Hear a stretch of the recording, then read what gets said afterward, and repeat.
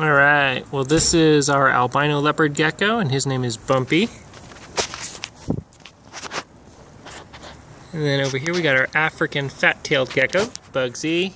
No, no. Toes off, toes off. This is our African fat-tailed gecko. His name is Cinnamon. And Bumpy's just wandering away. There we go. There we go, guys. Enjoying this beautiful sunny day. Bugsy's enjoying them.